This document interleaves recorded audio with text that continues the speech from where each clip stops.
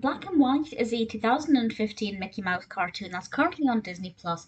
And when I read the description for this, I kind of thought I'm going to have a lot of thoughts about this. I'm going to have a lot of say about to say about it because it sounded like it would really appeal to me. But actually, while I enjoyed it, I don't have that many specific thoughts, which is unusual because it definitely sounded like something that I would absolutely adore. I liked it. It started off with Mickey standing outside the movie theater getting ready to see Attack of the Heebie Jeebies, which I think is a brilliant name. And he goes into this movie theater and we see all of these characters, all of whom are black and white, um, like Mickey, getting ready to watch this cartoon. And when it starts, he becomes so terrified he ends up scaring the black part of himself away so that he looks as white as a ghost, as the expression goes. And his I keep thinking of it as a shadow, but it's not his shadow.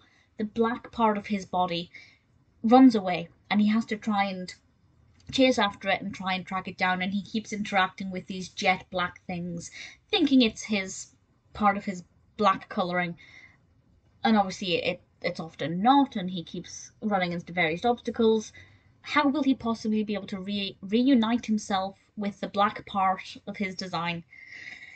I have to say, I think he looks brilliant in solid white. There's something really great about the colour of him. And I just love the idea of him scaring himself so that he's literally white as a ghost. I really enjoyed that part of it. Um, the scenes that were set in the movie theatre, which is not actually that much of it, um, worked very well. It was very well animated.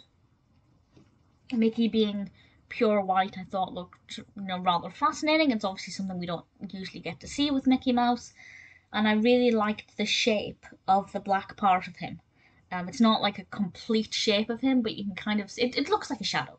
Let's face it, it does look like his shadow, and I just kept thinking of it as a shadow, even though it's not actually. I enjoyed it.